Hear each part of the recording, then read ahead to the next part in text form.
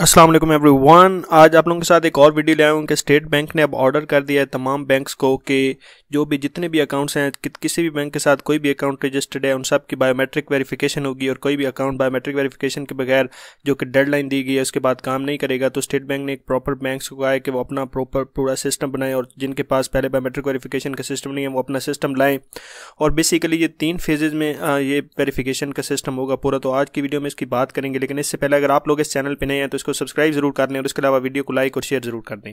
تو جیسا کہ آپ لوگ جانتے ہیں کہ لوگوں کے اکاؤنٹ سے اربوں روپے نکل رہے ہیں، کچھ لوگوں کو پتہ بھی نہیں ہوتا، لیکن بیسیکلی یہ جو اربوں روپے کے اکاؤنٹ والی اسٹریٹجی ہوتی ہے، یہ کچھ اس طرح سے کام کر رہی ہوتی ہے کہ ان لوگوں کو بتا دیا جاتا ہے، ان کی رضامندی شامل ہوتی ہے اور ان کو کچھ پیسے دے کے، جو کہ بہت ہی غریب لوگ ہوتے ہیں، ان کو تھوڑے سے پیسے دے کے ان کے نام پہ ان کی کریڈنشیل یا ان کی ساری وہ انفارمیشن حاصل کر کے ان کے نام پہ اکاؤنٹ کھول دیا جاتا ہے۔ ان لوگوں کو بیسیکلی پتہ ہوتا ہے موسٹلی کیس یہ ہوتا ہے جو کہ دنیا میں پریکٹس ہوتی ہے، پاکستان میں بھی ایسا ہی ہوتا ہے، لیکن کچھ لوگوں کو نہیں بھی پتہ چلتا، ان کی آئی ڈی کارڈ کی کاپی کہیں سرکولیٹ ہو جاتی ہے یا وہ کہیں بھی اپنے شناختی کارڈ کی کاپی چھوڑتے ہیں یا کچھ اس طرح کی چیزیں جو کہ لوگ اتنا یہاں دھیان نہیں دیتے لیکن وہ بعد میں اس طرح کے پرپزز کے لیے یوز ہو رہی ہوتی ہیں۔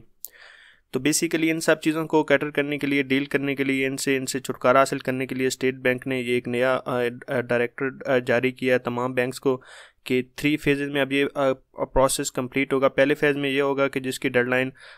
آگے نومبر میں دی گئی ہے، تیس نومبر دو ہزار اٹھارہ کو اس میں یہ ہوگا کہ جو بڑی کمپنیز ہیں، جن کے ملینز میں ٹرانزیکشن ہوتی ہیں، پہلے دو فیز میں یہ ہوگا، لیکن آخری فیز میں جو کہ ہاں، دو ہزار انیس میں ختم ہوگا، اس میں یہ ہے کہ ہر انڈیویجول کے لیے بھی کہا جائے گا کہ وہ اپنے اکاؤنٹ کی بایو میٹرک ویریفیکیشن کریں۔ تو ابھی بہت جلد آپ کے جو بینکس ہیں، یہ آپ کو بتانا شروع کر دیں گے، آپ کو گائڈ کرنا شروع کر دیں گے کہ کیا پروسیس آتا ہے، کیا پروسیجر آتا ہے۔ اگر آپ لوگوں کی اپنی کمپنی ہے، تو وہ بھی آپ کو بینک کی جانب سے پورا گائڈ کیا جائے گا۔ اور اگر کمپنی نہیں ہے، تو پھر بھی آپ کو بتایا جائے گا۔ اور اس پر جو بھی ڈیٹیل آئیں گے، میں اپنی ویڈیو میں بھی آپ کو بتاؤں گا کہ کیسے آپ سمپلی ان سب چیزوں کو ویریفائی کر سکتے ہیں۔ تو بیسیکلی یہ ٹیرر فائنینسنگ ہو رہی ہوتی ہے پیسہ ٹیررسٹ کو جا رہا ہوتا ہے منی لانڈرنگ ہو رہی ہوتی ہے، ان سب چیزوں سے ڈیل کرنے کے لیے اسٹیٹ بینک نے یہ انیشیٹو لیا اور تمام بینکس کو یہ آرڈر ایشو کیا ہے۔ تو اس پر مزید اگر کوئی اپڈیٹ ہوگی تو آپ کے ساتھ شیئر کروں گا۔ آج یہ چھوٹی سی نیوز تھی، آپ کے ساتھ شیئر کرنی تھی۔ Thank you for watching